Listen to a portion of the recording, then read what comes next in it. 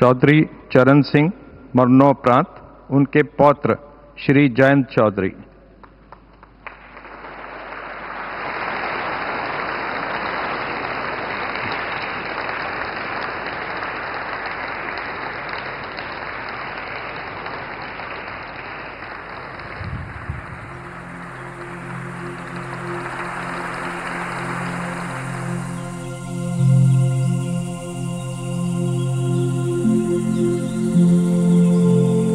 बीसवीं सदी के शुरुआती दौर का भारत, जहाँ भारत के एक बड़े हिस्से पर बरतानिया हुकूमत का जुल्म सितम था, वहीं दूसरा हिस्सा राजे महाराजाओं, सामंती व्यवस्था जमींदारों की जद में था।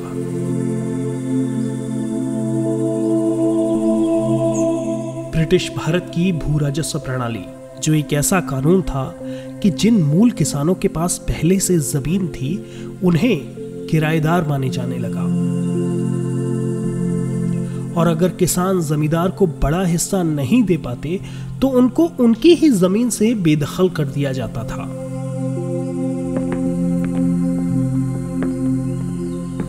इसी की वजह से ब्रिटिश भारत की भू राजस्व प्रणाली, स्वतंत्रता आंदोलन का एक महत्वपूर्ण केंद्र बनी। ब्रिटिश काल में किसानों का बहुत शोषण हुआ।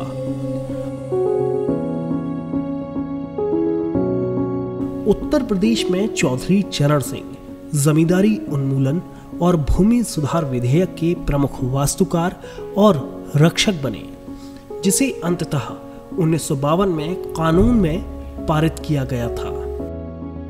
चरण सिंह ने इस कानून को अपने राजनीतिक जीवन की सबसे बड़ी उपलब्धि माना। मध्यम काठी और दुबले पतले कद के चौधरी चरण सिंह, जिन्होंने अपने पूरे जीवन खादी कपड़े पहन के गुजारे, वे नैतिक और संयमी जीवन जीने के लिए, भारतीय विकास में कृषि की प्रधानता देने के लिए, भारत की गरीबी के समाधान के रूप में ग्रामीण रोज़गार सृजन करने के लिए एवं भूमि सुधार और कृषि उत्पादकता के लिए जाने गए। उनके खुद के शब्दों में सबसे बड़े जीवन की जो जो चोटी उन्होंने पाई, वो थी ज़मींदारी उन्मूलन the abolition of zamindari in Uttar Pradesh तो वो, उनके हिसाब से अगर पंडित पंत नहीं होते तो ये संभव नहीं था। क्योंकि कांग्रेस के अंदर, कांग्रेस के बाहर तो थे ही थे, पर कांग्रेस के अंदर बहुत नेता ऐसे थे जो इसके खिलाफ थे। तो एक एग्ज़ाम्पल वो देते। कि सारे स्टेट्स में जहाँ जहाँ पे ज़मींदारी उन्मूलन हुआ, जो भी लॉ पास हुई, उसमें राइट टू रिज्यूम मतलब जो ज़मींदार था, अगर वो कहे कि भाई हो गई ज़मींदारी ख़त्म, अगर ज़मींदार ये कहे कि मैं तीस एकड़, साठ एकड़, नब्बे एकड़ वापस ले रहा हूँ और मैं खुद काश्त करूँगा तो सारे स्टेट्स में हिंदुस्तान में वो राइट टू रिज्यूम दिया गया। उत्तर प्रदेश में नहीं दिया गया। चौधरी चरण सिंह, जो कि भारत के आगे चलकर पाँचवें प्रधानमंत्री बने, उनका जन्म 23 दिसंबर 1902 को संयुक्त प्रांत के मेरठ ज़िले के नूरपुर गाँव में हुआ था। पाँच, किला पाँच एकड़ की ज़मीन पर खेती करते थे हमारे पर नाना नानी चौधरी मीर सिंह और नेत्र कौर। खुद खुद खेती करते थे और वो ज़मीन उनकी नहीं थी। तो आप ये सोचिए कि चौधरी साहब के माता पिता टेनेंट फार्मर्स थे। ज़मीन उनकी खुद की नहीं थी। चरण सिंह की प्रारंभिक शिक्षा जानी खुर्द गाँव में हुई। वो एक सक्षम और उज्जवल छात्र रहे।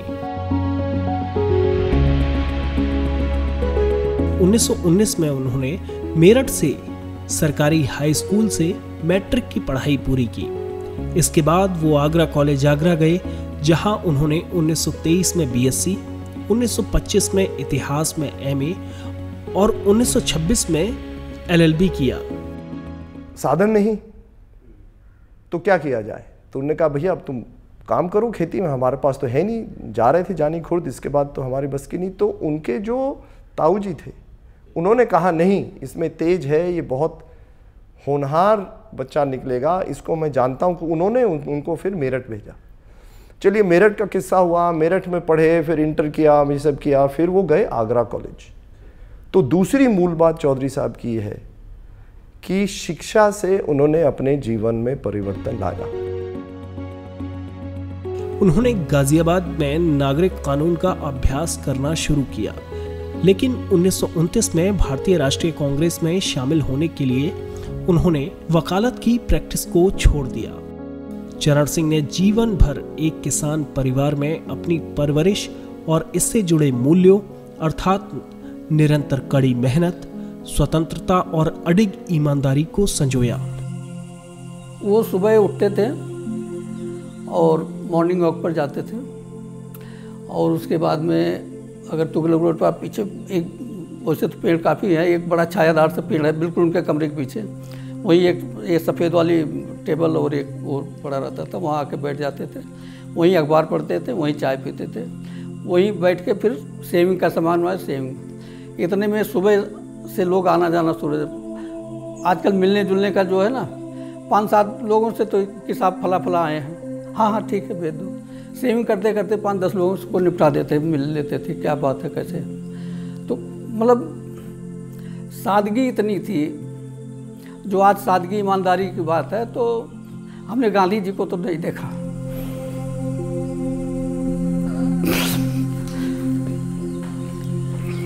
तो ये था। ग्रामीण जीवन का किसान तरीका उनके जीवन का सबसे बड़ा परिभाषित प्रभाव था जिसने उनके नैतिक जीवन सिद्धांतों को स्थापित किया और बाद में उनके बौद्धिक और राजनीतिक विचारों को आकार दिया। गाँव का और जो समाज वहाँ गाँव के हैं उसका जो वातावरण बना उसका प्रभाव चौधरी साहब के मन पे बहुत पड़ा क्योंकि खेती की तो हमेशा से मुश्किलातें रही हैं। उस ज़माने में सोचिए आप 1902 में जब अंग्रेज़ थे शासन भी कर रहे थे और शोषण भी कर रहे थे दोनों साथ साथ तो उस ज़माने में क्या हालत हो थी किसान की?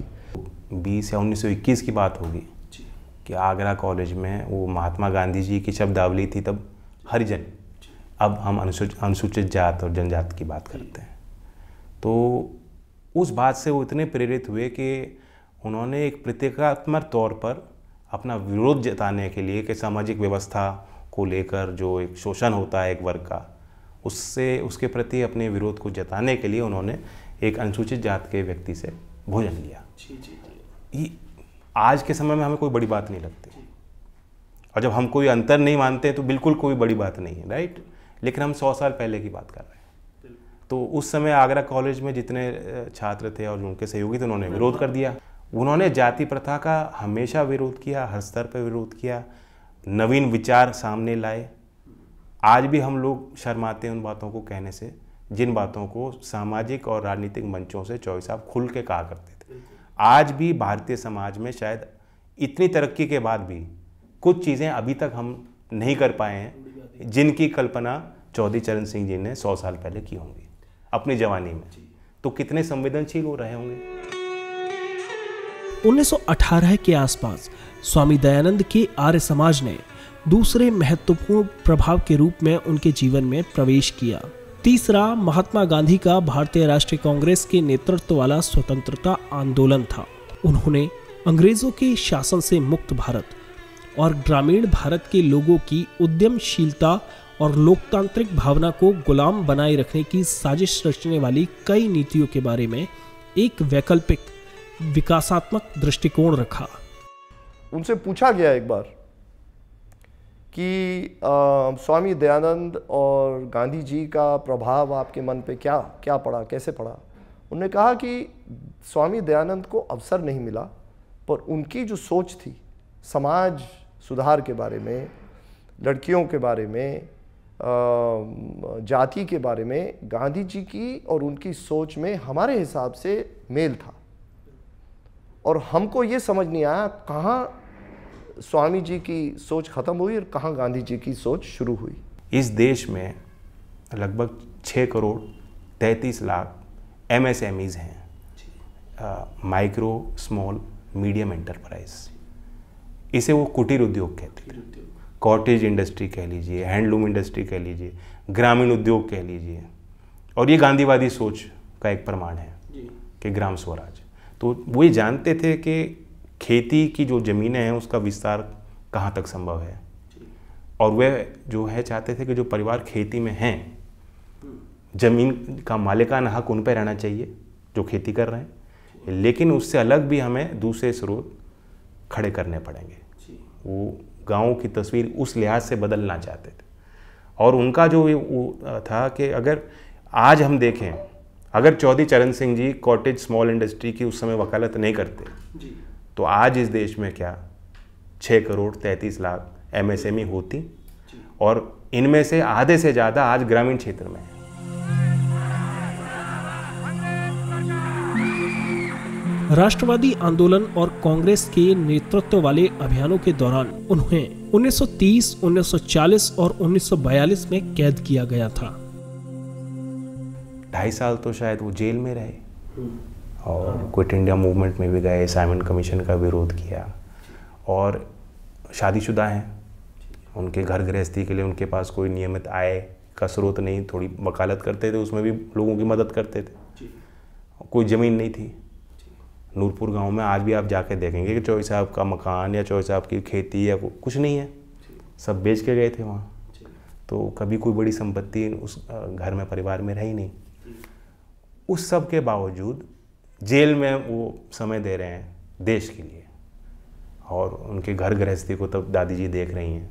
कभी गाँव में जा रहे हैं, गाँव में छुप छुप के जो है उनकी गिरफ्तारी हो रही है तो भाग रहे हैं, रह रहे हैं, रुक रहे हैं।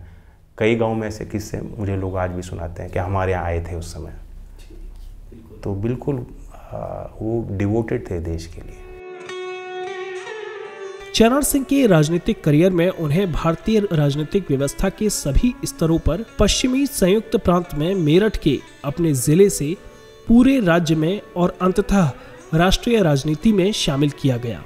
उन्नीस में चौधरी चरण सिंह पहली बार संयुक्त प्रांत विधानसभा के लिए चुने गए और कुछ ही दिनों बाद उन्होंने निजी विधेयक कृषि उत्पाद विपणन विधेयक पेश किया जिसमें किसानों को व्यापारियों और आढ़तियों से सुरक्षा के प्रावधान थे। उनके लेजिस्लेटिव जर्नी को आप देखेंगे कि उन्नीस सौ सैंतीस से लेके चाहे वो प्राइवेट मेंबर्स बिल उस समय उन्होंने पेश किए या जब उनको मौका मिला तब उन्होंने किया। बहुत काम है मंडी कानून बनाया और ज़मींदारा उन्मूलन जो है ज़मींदारी उन्मूलन बहुत बड़ा प्रभाव था उसका। भूमि सुधार जहाँ जहाँ ये चीज़ें हो गई वहाँ आपने देखा कि आज भी उस तरह के तनाव नहीं जहाँ वो चीज़ें नहीं हो पाई वहाँ दूसरे तरह के मूवमेंट शुरू हो गए।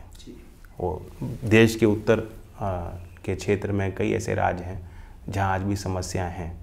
तो बहुत उसका विश्लेषण करेंगे तो ये पाएँगे कि जहाँ क्योंकि वो बेसिकली गैर बराबरी के खिलाफ थे। और उनकी उनकी सोच थी कि जो काश्तकार है जो ज़मीन पर काम कर रहा है उसके अधिकारों के लिए उन्होंने काम किया। और कानूनी उसको अमला जामा जैसे भी बनाना था उनके लिए कानून बनाए प्रस्ताव लाए नीतियाँ बनाई। तो उसी थिंकिंग को आगे बढ़ाते गए। वह जल्द ही राज्य के प्रमुख गोविंद बल्लभ पंत के पसंदीदा बन गए। जिन्होंने उन्हें 1946 से 1950 तक दूसरी कांग्रेस सरकार में संसदीय सचिव, यानी कि जूनियर मंत्री नियुक्त किया। मंत्रालय में अपेक्षाकृत जूनियर स्थिति में होने के बावजूद पंत जी ने उन्हें जमींदारी उन्मूलन और भूमि सुधार विधेयक का प्रमुख वास्तुकार और रक्षक बनाया, जिसे अंततः उन्नीस सौ बावन में कानून में पारित किया गया था।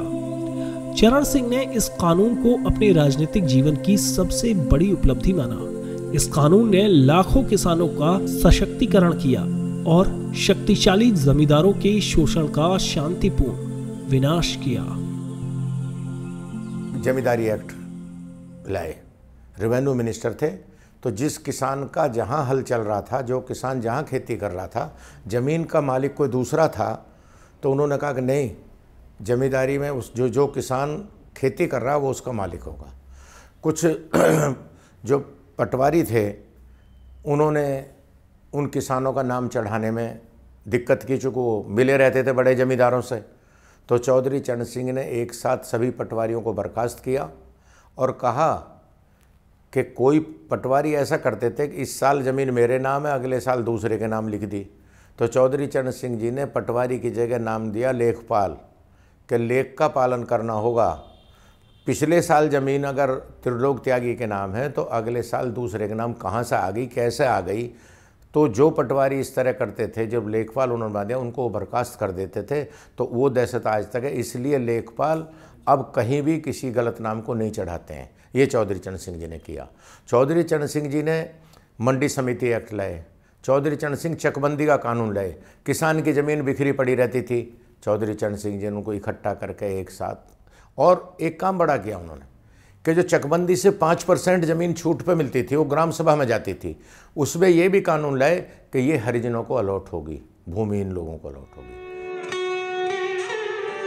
1951 से करीब 1960 में 19 महीने की अवधि को अपवाद के रूप में छोड़ दें तो वो उत्तर प्रदेश में हर कांग्रेस सरकार में कैबिनेट स्तर के मंत्री थे। उन्होंने राज्य कानून, राजस्व, भूमि, कृषि, वन और कानून और व्यवस्था के जटिल मुद्दों की एक श्रृंखला का गहरा ज्ञान प्राप्त किया, जिसने उन्हें कई मुद्दों का एक अद्वितीय दृष्टिकोण प्रदान किया।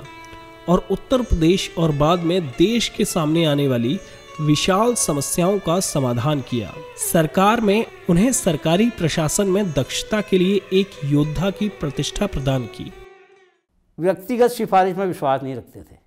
मैं किसी प्रकार का कि कोई ट्रांसफ़र वाले आ रहे हों, जॉब वाले आ रहे हों, ये आ रहे हों उन वो सामूहिक काम में विश्वास करते थे। लोग आए, गाँव के आदमी आए, सौ आदमी, जी हमारे यहाँ दिक्कत आ रही है, और ये है, ऐसा है। सुनते रहे सुनते रहे अच्छा हाँ सुनने के बाद बोले ठीक है, तुम जाओ। उनके जाने के बाद उन्होंने उसकी डिटेल भी लोग आए थे, कहाँ के थे वाकई है कि नहीं है। उन्होंने कुछ, खुद फिर उस पर कार्रवाई भी की।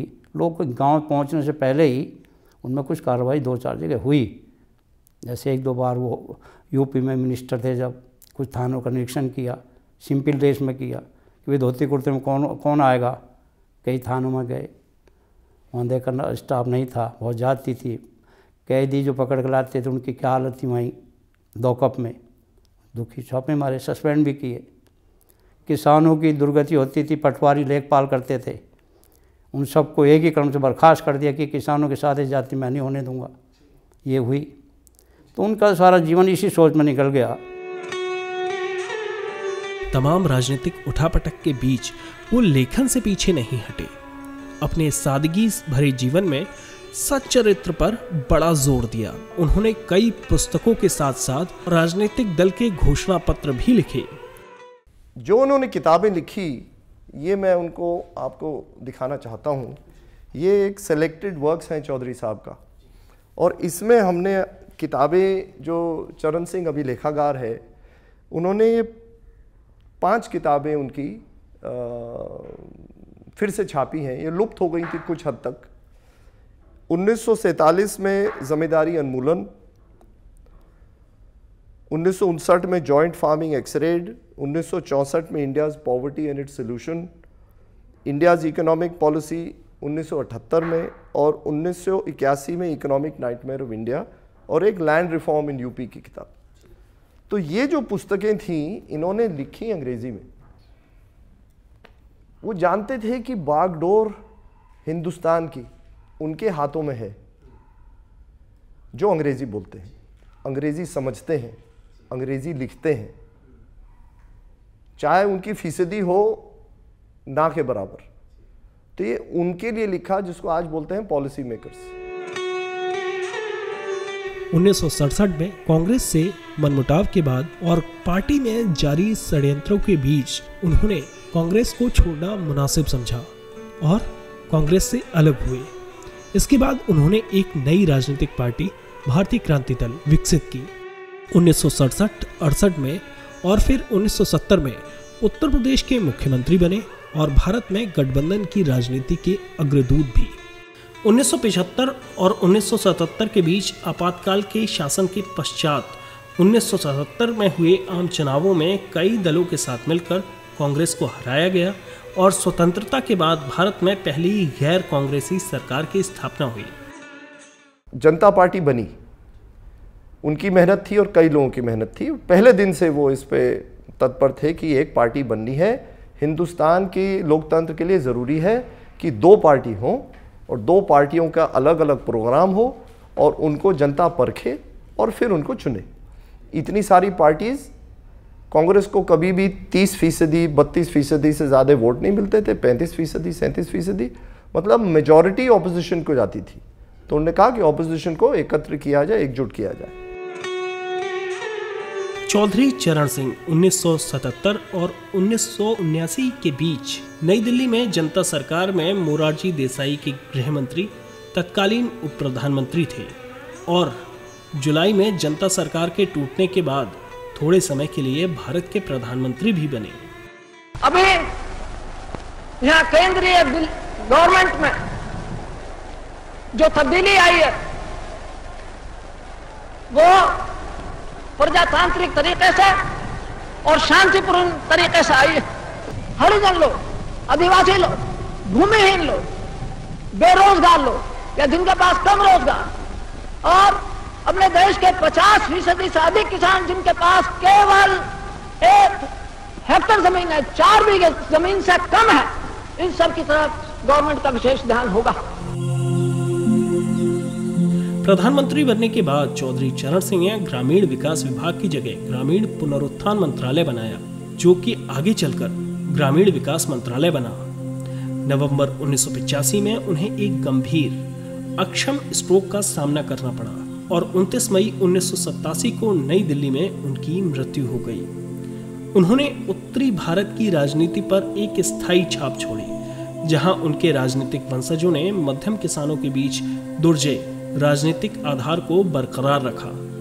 मेरे जैसे हज़ारों नौजवानों को उन्होंने किसानों के लड़कों को कमेरों के लड़कों को मेहनत कस के लड़कों को हाथ पकड़ के जो राजनीति की गंगा बड़े बड़े महलों में और बड़े बड़े जमींदारों का कैद थी चौधरी चरण सिंह ने उस गंगा को गाँव की गलियों में उतारा। उसमें ना उन्होंने धर्म देखा ना जाति देखी। चौधरी चरण सिंह को भारत के मध्यम वर्ग किसानों के प्रमुख प्रवक्ता के रूप में पहचाना गया है। और भारत रत्न से सम्मानित होना इस सम्मान की शोभा को और बढ़ाता है।